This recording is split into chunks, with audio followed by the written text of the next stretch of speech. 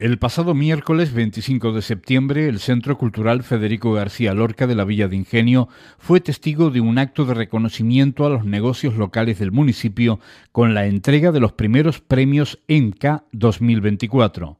Estos galardones, creados para reconocer el esfuerzo, la innovación y el compromiso de los comercios locales con su comunidad, se otorgaron como el broche final al Congreso Insular de Áreas Comerciales de Gran Canaria.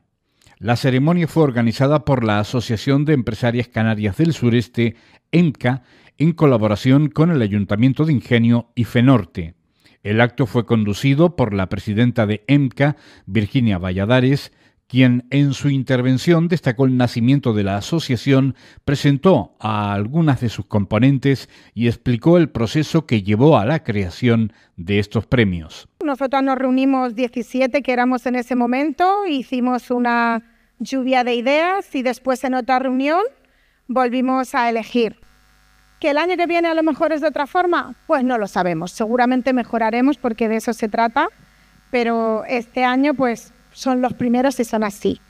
Elegimos 10 categorías con los criterios y también dentro de lo que cada una de nosotras iba conociendo y vamos poniendo en la mesa. La alcaldesa de Ingenio, Vanessa Martín, también intervino en el evento para resaltar la importancia del emprendimiento local.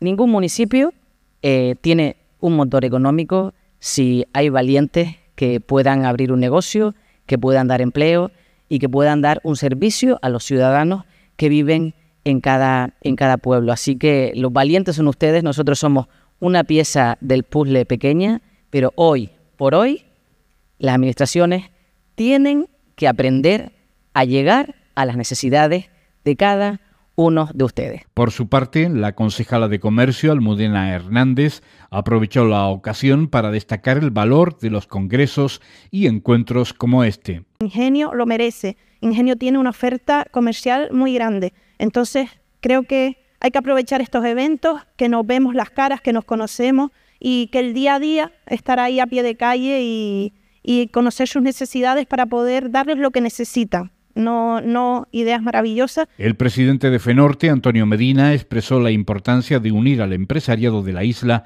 para que coopere y se apoye mutuamente. Esto fue un sueño. Yo siempre hablo de los sueños.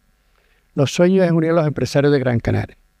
Que vayamos juntos, que cooperemos, que nos apoyemos unos a otros y que las asociaciones conjuntamente con la Administración lleguen a acuerdos para desarrollar. En esta primera edición de los premios EMCA, los comercios premiados fueron los siguientes. Negocio con mayor antigüedad, panadería Artiles.